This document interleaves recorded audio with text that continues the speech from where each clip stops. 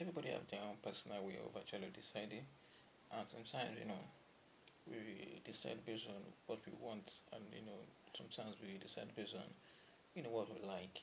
And this lady happens to actually be from you know the good background and the father actually wants you know someone for her but she actually wants someone else. And for the fact that she's just back from you know where she's from the father actually wants her to actually date you know the son his own friend and you know making the business actually cross from just business to you know a family thing.